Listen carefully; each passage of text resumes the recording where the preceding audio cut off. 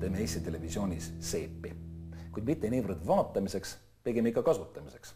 ja nii tekibki valik, kas see seep või hoopis see seep kuna tegemist on sellise koduse teemaga, siis tegelikult me kasutame kõiki koduasju, kellel on kodus nii väga kokamütsi, kellelgi ei ole, aga prille võib-olla leiab, palun.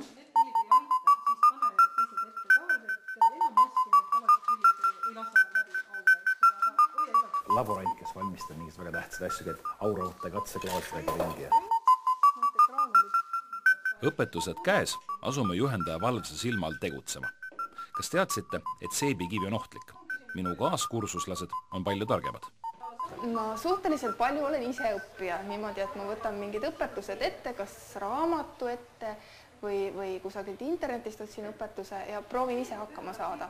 aga see seebi tegemine oli selline, et ma, ma lugesin, et seebikivi on väga äh, nagu ohtlik ise käsitseda, siis ma mõtlesin, et ma selle tulen õpin nagu asjatundja juures ära. seebikivi on meil siin selline granuleeritud variant, näete graanulid kraanid on selles mõttes head, et nad ei lendu, nad ei tolma.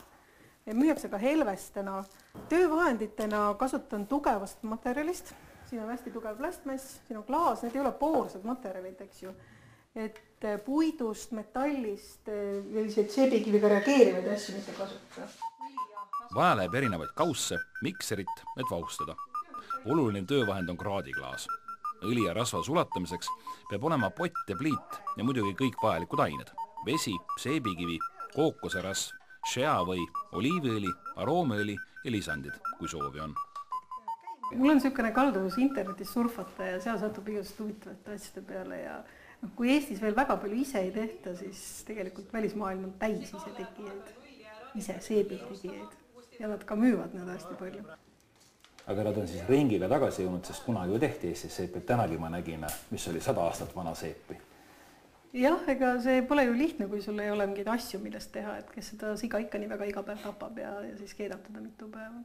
Et eh, täna on nagu asi hästi li palju lihtsam, et sa saad minna tavalisse toidupoodi, ostad pudeli oliiviõli ja noh, seebikivi leidmine on suhteliselt raske, eks ju, aga siis segad nad kokku ja saadki seebi tegelikult. Pole enam siga vaja selleks, et seepi saada.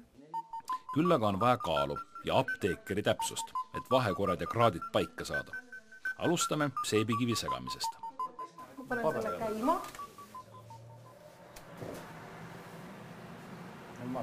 Ja ega siin ei ole midagi rasket selles mõttes. lihtsalt tõstan sisse ja segan. lihtsalt ei pane korraga kõike sisse, panen jupikaupa, siis ta temperatuur tõuseb kõrgele ja seda me ei taha, me tahame külma protsessi. et siit kõik terad ära ja nüüd palun kes enne kaalus, see nüüd segab ja vastupidi või kuidas soovite? töö ohtlikum osa on läbi. nüüd siis vaatame retsepti, võtame vajalikud ja meeldivad rasvad ja jälle kaaluma. sada viiskümmend neli, me oleme väga lähedal. tuleb veel natuke meil on vaja kakskümmend kuus veel grammi. palun pliidile natukene sooja talle alla, et vedelamaks läheb, siin piisab kolmekümnest, neljakümnest uh. kraadist. et ei pea keema ajama seda rasva. peaasi, et me saame nad praegu vedelaks. seep aga seda ei saa süüa. seda peab äh, väga veider on teha potis mingit asja, mida süüa ei saa. kas mehed ka seepi teevad? Jaa, ka mehed teevad seepi. mina ei ole ainuke, kes on kursus. ei, sa ei ole ainuke, ma olen ka veel ühte meest veel näinud. aga enamasti on need muidugi naised, et siin mingil määral on ju tegemist nagu sellise käsitöökunstiga või mehed vist ei ole avastanud sellist maailma enda jaoks aga et endale nagu naudingut pakkuda ja võib-olla nahale ja kehale ka naudingut pakkuda, siis eh, mul on siin laua peal mitmesuguseid lisandeid. näiteks eh, savid, roheline, valge, roosa savi. savi. Annab seebile tekstuuri, annab eh, koorivaid omadusi, natuke toidab nahka, sinine savi ja roheline savi niiskele rasusele nahale. õlid, rasvad on õige temperatuurini tõusnud. nelikümmend viis, ideaalne vaja on veel vormi, millesse seep jahtuma, seisma panna. siin saab mõnusalt taaskasutuslik olla. siis tuleb otsustada lisandid ja värvained ning hakata lõplikult segama. kas selle seebi tegemisel on praktiline või teraapiline väärtus eelkõige? Minu meelest ikka mõlemad. üks asi on see, et sa ju pärast pesed sellega, ega sa seisma teda ei tee, eks ju. küsitakse ju, kaua seep säilib, tegelikult ei säili, kuu aega pesed ära. aa aga kui ei tahaks näiteks, kui raatsi pesta, mina ei tea, kas mina raatsin selle seebiga pesta, mis ma ise tegin. kui ma tahan teda säilitada muidugi näiteks. võib hoida, võib ikka loomulikult, seal ei ole midagi sellist, mis nagu halvaks saaks minna, eks ju. seebikivi on iseenesest juba desinfitseeriv aine. paned siia sisse. üks, kaks, kolm, ta ei pritsi väga, eks ole. Segad natukene. üks, kaks, kolm, teed pausi. et kui siin servas nüüd tekivad need vahumullid, eks ju, et siis katsu need sisse lükata, et vahtu ei tohi nagu tekitada. tegelikult see oli palju lihtsam. ma väga kartsin seda seebikivi, ma mõtlesin, et mis kõik toimub ja kuidas see pritsib ja lendab ja pärast on kõik kohad katki ja augulised, aga tegelikult polnud mitte midagi hullu ja üldse polnud nii keeruline, kui ma olin ette kujutanud.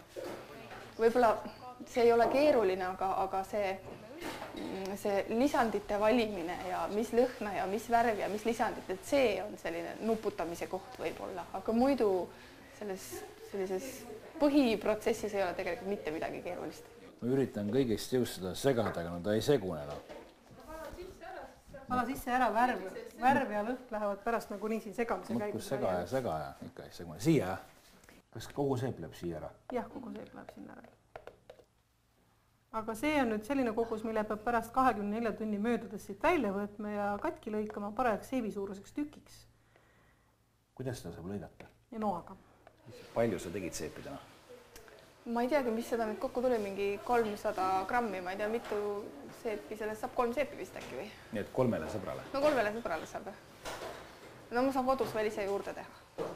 nii et see oligi konkreetne huvi seebi tegemise vastu, et teeks ise nojah, kuna mulle üldse meeldib nagu ise igasuguseid asju teha, ma olen vaikselt igasuguse käsitöö juurde jõudnud, hakanud kuduma ja heegeldama ja, ja, ja igasuguseid asju proovima, siis, siis ma mõtlesin, et ma tulen proovin selle seebi tegemise ka ära. ise tehtud kingitused on ikka need kõige, kõige mõnusamad. seep on olemas. tähendab seda, et kuu aja pärast saab pesta juba ennast. ma ootan, et saaks ennast puhtaks pesta. ja tegelikult võttis selle kaua aega, see seebi tegemine. prille polnud üldse vaja. ma ei näinud paremini nendega mitte midagi. aga vähemalt on üks elus üks seep tehtud. ma hoian seda seepi mustadeks päevadeks.